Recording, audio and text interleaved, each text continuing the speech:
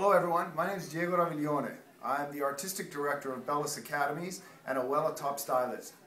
I'd like to take this opportunity to tell you why, uh, after 28 years of doing hair for different product companies, behind the chair, I've decided in the last five years of my career, I've been in beauty schools. I hear a lot um, when we're in the industry about changing the industry and how we need to change the industry and raise the level of the integrity of our craft. And uh, that was always something that was always really close to my heart. And I chose Bellus Academies because I really saw an opportunity to work with a great team of people and to be able to make a difference at, at the core level of um, when a student's in school. I really believe that if we want to make some changes in the industry and raise that level of integrity, the place to do this would be in, in schools. And I really couldn't think of a better one than, than Bellus Academy.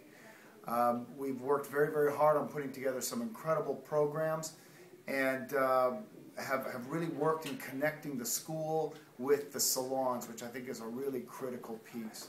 I'm very, very proud of uh, what we've been able to accomplish. I'm very proud of the salons that have been, that stood by us and supported us, and I just want to say thank you, and uh, beauty changes lives.